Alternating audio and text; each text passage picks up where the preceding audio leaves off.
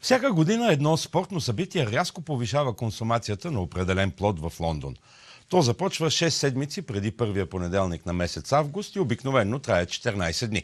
Става дума за най-стария все още провеждан тенис турнир в света – Уимбълдън.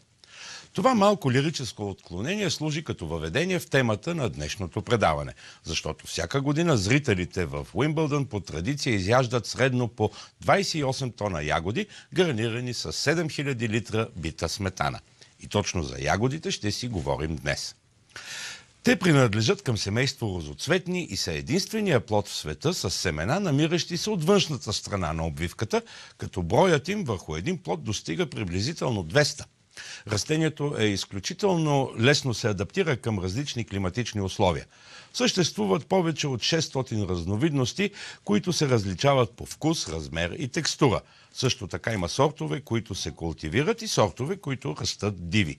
Дивите ягоди са много по-малки по размер, но имат значително по-силен отличителен вкус. Този плод има дълга история, стигаща назад до каменната епоха, както доказват археологически находки, при които са открити семенца. Древните римляни са ги боготворели не само заради вкусовите им свойства. За тях ягодата е била символ на богинята Венера заради цвета и сърцевидната си форма. След падането на Рим, отглеждането на ягоди изпада в забвение, за да се възроди през късното средновековие. Писмени източници от това време от Централна Европа споменават големи площи засадени с малки горски ягоди. Още тогава хора да са се стремели да създадат растения с по-едри плодове, но без успех. Това става възможно чак през 17 век, когато френски заселници в Канада откриват див сорт с по-големи плодове. Донесени в Европа, тези растения бързо намират място в ботаническите градини. В България ягоди се отглеждат от края на 19 век, благодарение на един чех, който бил учител в земеделско училище. През 1889 година той внася няколко корена от различни сортове градински ягоди. Ягодите са най-полезни, когато се консумират сурови, в натурален вид. Те са изключително освежаващи и безвредни в разумно количество, естествено, дори при спазване на диета. В 100 грама ще намерите около 4,7 грама захари, два пъти по-малко в сравнение с портокалите и кивито, например, и около 90% вода. В тези 100 грама има само 30 калории.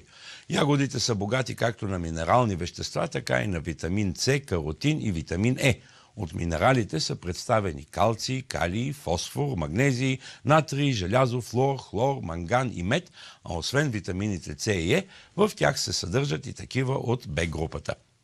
Ежедневният прием на ягоди доказано укрепва имунната система и успешно се бори с грипните вируси. Съдържащите се в ягодите фруктоза и глюкоза много бързо се разлагат в организма, от което следва, че те не повишават нивото на холестерола и не причиняват затластяване. В състава им влизат и лимонената, салициловата и ябълчната киселина, които подобряват обмяната на веществата и улесняват храносмилането.